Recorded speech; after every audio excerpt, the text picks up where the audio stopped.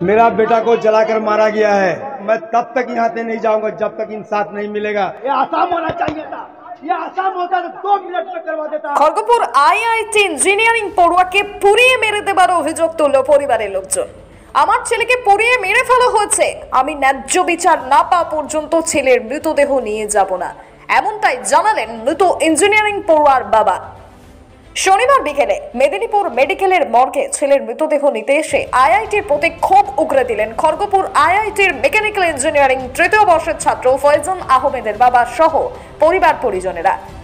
একই সঙ্গে আইআইটির ভূমিকা নিয়েও প্রশ্ন তুলেছেন মৃত ফয়জানের পরিবার পরিজনরা। ছেলের মৃতদেহ দেখেই কান্নায় ভেঙে পড়েছেন ফয়জানের বাবা, মা এবং মাসি।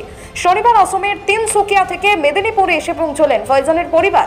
খড়গপুর আইআইটি অস্বাভাবিক ছাত্র মৃত্যুর ঘটনা কোনোভাবেই মেনে নিতে পারছেন না তার পরিবার।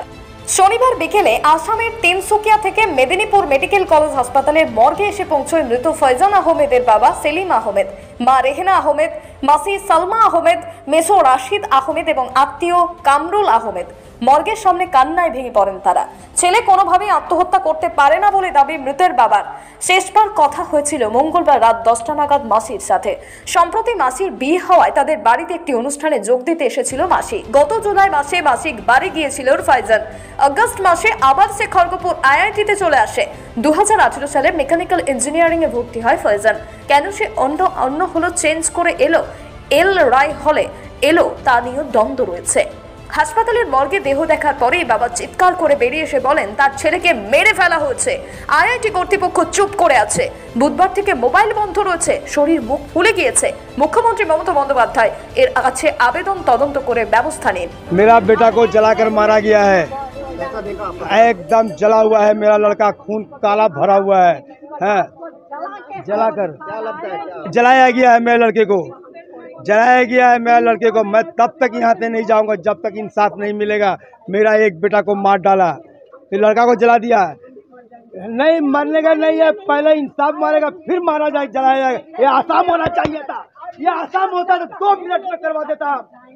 दो सेकंड लगता रहा मुझको और यूनिवर्सिटी हो चाहिए। मेरा बच- बच्चे को ये आप तरफ़ से भेजा गया नहीं नहीं हम अपने खुद से एडमिन तरफ़ खुद से से क्या लग रहा है? आपको क्या लग रहा है हमको नहीं पता हमको जैसा रूम में मिला था वही हमको उसके ज़्यादा कुछ पता नहीं पहचानते थे पहले से? किसको? फैजान को पहचानते हाँ, थे। हाँ। जूनियर है आपका। हाँ एक साल से सीनियर हाँ? मैं मेरे ब्रांच अलग है वो मेरे हॉल में रहता था तो मतलब मेरे हॉस्टल में रहता। था जो भवन है वहाँ हाँ। पे उनका बॉडी मिला है लेकिन हाँ। वो वहाँ पे वहाँ का नहीं है नहीं वो वहाँ का नहीं है। मेरे हॉल का है वो। कौन से वाले मेरा हॉल है राजेंद्र प्रसाद हॉल तो आप अगर आप आप राजेंद्र प्रसाद हाँ। का है ना हाँ। तो सवाल बस ये आता है देखो कि अगर वो दो दिन से नहीं मिल रहा है ठीक है ना हाँ। क्लास नहीं कर रहा है तो सवाल तो आता है ना वार्डन होते हैं ना आपके वहाँ हाँ वो तो खोज लेंगे ना वो तो ही जब भी उसके दोस्तों को लगा कि वो क्लास नहीं आ रहा है इसलिए वो उसके रूम गए तभी